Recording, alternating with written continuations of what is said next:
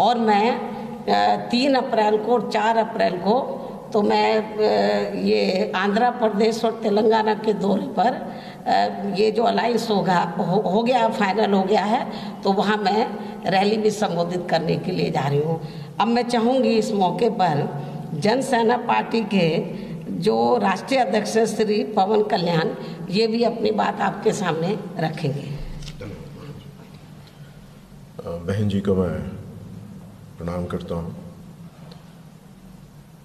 मुझे अंग्रेज़ी में बोलने की अनुमति दीजिए। I am grateful for this opportunity to be with बहन जी मायावती जी को मैं माया जी के साथ to have this historical opportunity it's this is an opportunity which people been looking forward for the last few decades this is the vision of Ambedkar ji Kanshi Ram ji and Ram Manohar Lohia.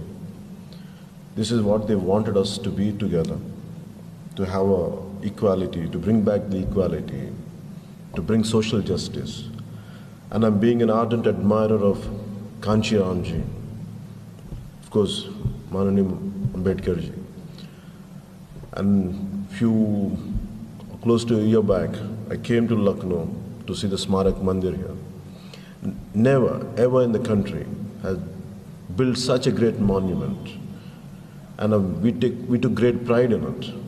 And today, somehow, destiny brought Behenji Mayawati ji and us together. And we are truly grateful for giving this opportunity to work with Behenji Mayawati saath. And we will make sure everyone's vision in the country is to see Behenji Mayawati ji in the most highest position, the Prime Minister of India.